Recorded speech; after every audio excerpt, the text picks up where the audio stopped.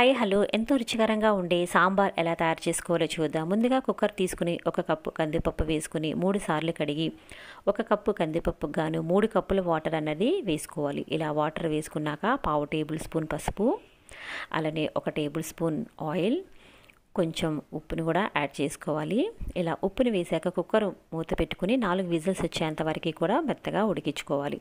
ఇప్పుడు మన ఇంట్లో ఉన్న వెజిటేబుల్స్ని ఇలా ఒక రెండు రెండు చొప్పున అన్నీ తీసుకుని కట్ చేసుకుని మనం పెట్టుకోవాలి. ఇలా వెజిటేబుల్స్ని కట్ చేసుకున్నాక మనం సాంబార్ తయారు చేసుకోవడానికి మందంగా ఉన్న ఒక వెడల్పుగా ఉన్న పాత్రను తీసుకుని ఒక రెండు టేబుల్ స్పూన్ ఆయిల్ అర టేబుల్ స్పూన్ ఆవాలు జీలకర్ర కూడా వేసుకోవాలి. అలానే ఐదు ఎల్లుల్లి రబ్బలు కొంచెం కరివేపాకు చిన్నగా ఘాట్లు పెట్టినటువంటి పచ్చిమిర్చి సాంబార్ ఉల్లిపాయలు ఒక ఎనిమిది వరకు తీసుకుని ఇలా ఆయిల్లో చక్కగా ఫ్రై చేసుకోవాలి. ఇప్పుడు ఒక రెండు ఎండుమిర్చి కూడా వేసుకోవాలి. మరొక వైపు మనం పప్పును మెత్తగా ఉడికించుకున్నాం కనుక ఇలా పప్పు గుద్దుతో చక్కగా మెదిపి పెట్టుకోవాలి.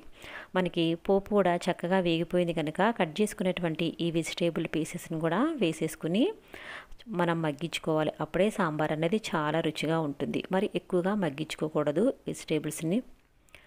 ఇప్పుడు పావు టేబుల్ స్పూన్ పసుపు రెండు టేబుల్ స్పూన్ ఇలా కారం వేసుకుని రుచికి సరిపడా సాల్ట్ కూడా వేసుకోవాలి. ఇలా అన్నీ వేసుకున్నాక ఒకసారి కలుపుకొని మీడియం ఫ్లేమ్లోనే మనం మెత్తగా మగ్గించుకోవాలి. ఒక సెవెంటీ పర్సెంట్ వరకు ఉడికితే చాలు. మరొక వైపు ఒక కప్పు చింతపండు రసాన్ని కూడా మనం తీసి పక్కన పెట్టుకోవాలి. చూడండి మనకి వెజిటేబుల్ పీసెస్ అనేవి చక్కగా ఆయిల్లో మగ్గాయి. ఇప్పుడు ఒక కప్పు చింతపండు రసాన్ని వేసుకుని ఒక పొంగు వచ్చేంత వరకు కూడా ఉడికించుకోవాలి. ఇలా ఉడికిన తర్వాత మెత్తగా మెదిపి పెట్టుకున్న ఈ పప్పును కూడా వేసేసుకుని ఒక కప్పు చింతపండు రసం వేసాం కనుక రెండు కప్పుల వాటర్ అన్నది వేసుకోవాలి. సాంబార్ అన్నది ఎంత చక్కగా మరిగితే మనకి టేస్ట్ అనేది అంత బాగా ఉంటుంది. ఇలా వాటర్ వేసుకున్నాక ఒక పది నిమిషాల పాటు మనం మంచిగా మరిగించుకోవాలి. ఇప్పుడు ఒక టేబుల్ స్పూన్ సాంబార్ పౌడర్ వేసుకున్నాక ఒక సాల్ట్ కొంచెం తగ్గింది. అందుకని కొంచెం సాల్ట్ అన్నది యాడ్ చేస్తున్నాను.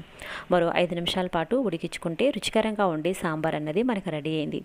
వెజిటేబుల్స్ అన్నీ కూడా చక్కగా కుక్ అయ్యాయి. చూసారు కదా? చివరిగా మనం కొత్తిమీర యాడ్ చేసుకుని స్టవ్ ఆఫ్ చేసుకుంటే సాంబార్ మనకు రెడీ అయినట్లే. ఈ వీడియో మీకు నచ్చితే నా ఛానల్ని లైక్ చేయండి. Thank you for